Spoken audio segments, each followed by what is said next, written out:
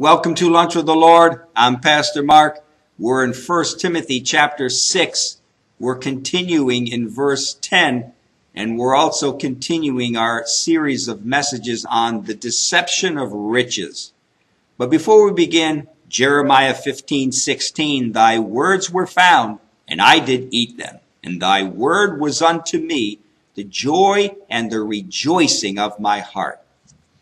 Now we saw in the first part of this verse here, it says, for the love of money. And we know that it's not money in its, in and of itself is not the problem. It, the problem is the love of money. It's the heart of man towards money that is, it says is the root of all evil. And that's what we need to guard from. It's not having riches is, is not an evil thing. But it's that love for it, that lust to have money, and that basically that desire to almost do anything to get it. All right? So, it says here, for the love of money, and then it says, is the root of all evil. Not all evils come from a love of money. There is, there is the evil of ambitious desire to get ahead, which is, you know, people in businesses want to keep going up the ladder in their business and, and, and at their job, and maybe they have to, maybe they have to step on a few heads to get up there, right? well, also you have the evil of sexual sins, such as rape, molestation, that kind of thing. Uh, the evil of discrimination, the evil of religious persecution. And there are others also. So, not, when it says here, the love of money is the root of all evil, not all evils come from a love for money. Some of them just come from a pure hatred towards something or a pure desire towards something else, the, a, the desire to obtain a position, right? It is better, it's better to say that all kinds of evil grow out of a love for money. And I think it's better to say that, that all kinds of evil grow out of a love for money. The world is proof that both men and women will commit any kind of sin or crime because of their desire for money. To some people, no sin or no crime is off limits, right? You have uh, murder, prostitution by men and women. Also, you have, you know, spies, uh, committing crimes against your own country for money, right? Some sometimes with people, you know, there is a price, and when you meet that price, people will do almost anything for money. How many wars were fought over the riches of another country?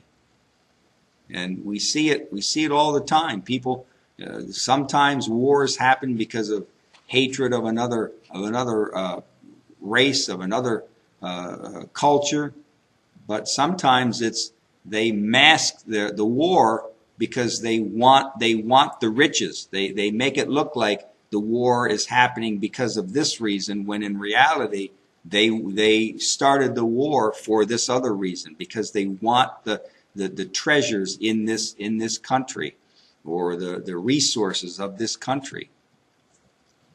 So it says the love of money is the root of all evil. And then it says, which while some have coveted after. And the Greek word for coveted is orego. And we see this same Greek word, orego, back in chapter 3 and verse 1.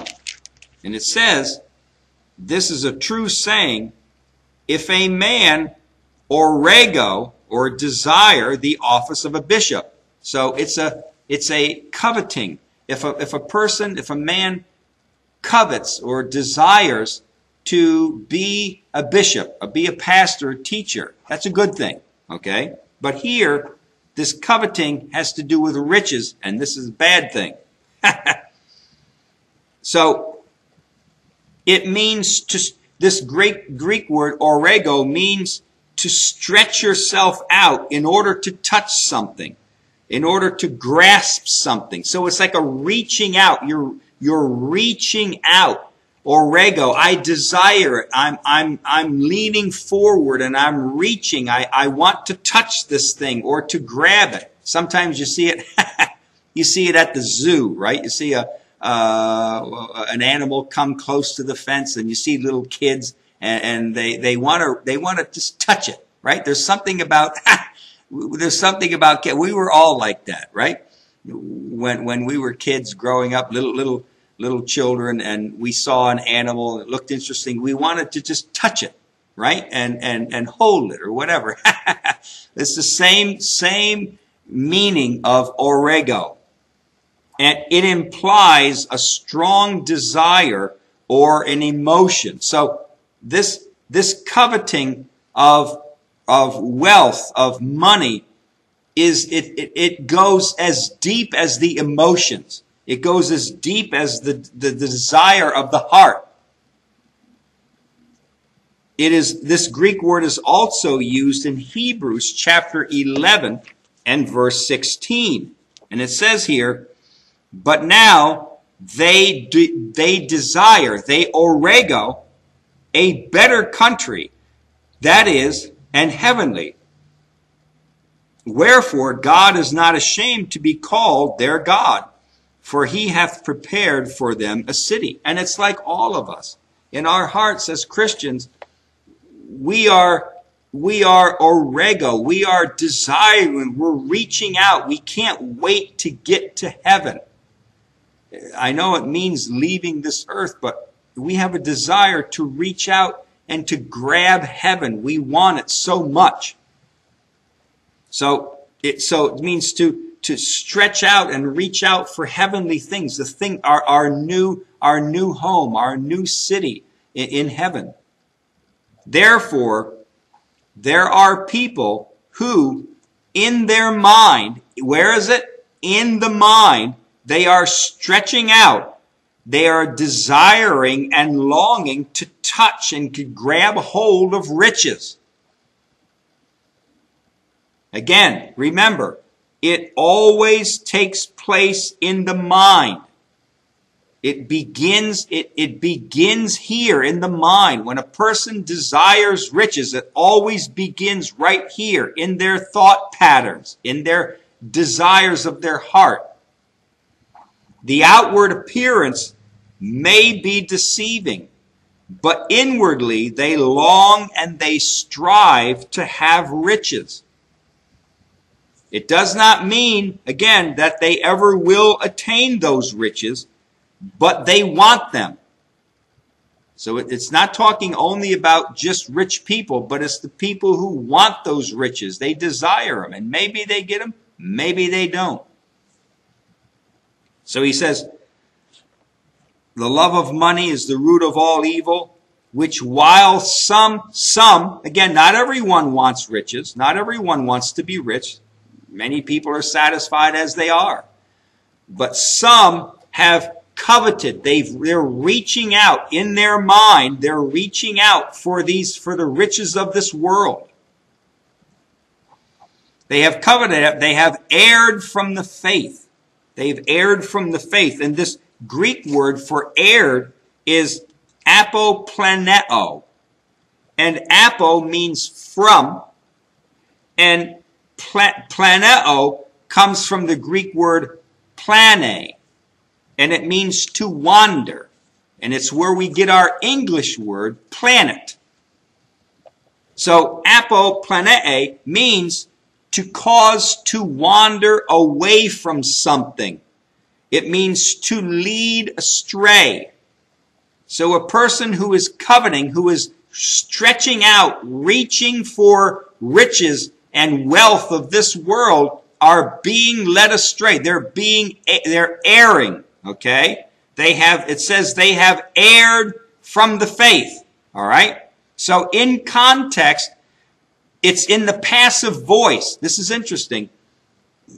Plan, planeo, is in the passive voice. And it means that these people who are doing the coveting are receiving the action of being led astray by their desire and their longing for riches. So the lo- their longing and their desire for riches is producing an action and what it's and it's causing them to to be led astray, to to err. All right? In Mark chapter 13 and in verse 22 it says for false Christs and false prophets shall arise and shall show signs and wonders. What? To seduce. To seduce. In the, in the King James Version here, it says to seduce, if it were possible, even the elect. That Greek word for to, to seduce is the is our same Greek word, apoplaneo. Okay? And so it means to wander and to draw, uh, to draw away from, to, to cause to stray. And what is it that they are being led away from? So, those that desire, those that covet, strongly desire, and they're reaching out for riches, they are erring. They are being led astray from something. And what is it? They're being led astray from the faith. All right? And uh, we'll, we'll, get into that next lesson because it's a little bit long. But we'll get in uh, get into their erring from the faith next lesson all right until then walk with the lord i know he walks with you